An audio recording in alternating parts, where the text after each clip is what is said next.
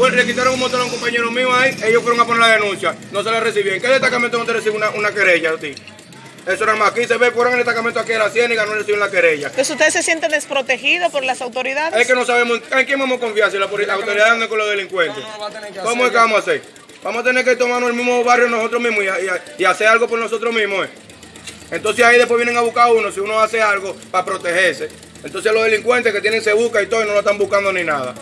Muchísimas gracias. Usted como madre, ¿qué tanto le preocupa esta situación de ver a sus niños? Queremos apoyo de los policías, no que nos den la espalda, ni, ni estén buscando lo que no tienen que buscar. Ese, ese, ese ni un mes que mató uno y anda como si nada con ellos trabajando. Este mató otro para allá abajo y anda como si nada, este vende droga y anda con ellos con una vaina de esto, con una capucha, patrullando, van a la casa de uno, le rompen todo y hacen de todo lo que ellos quieren. Y en verdad están amenazando a uno. Porque es enemigo de los hijos de uno, porque quiere que le dé lo de uno obligado. Que le paguen 5 mil pesos por madero, todo lo que tiene negocio. Por aquí los motoristas.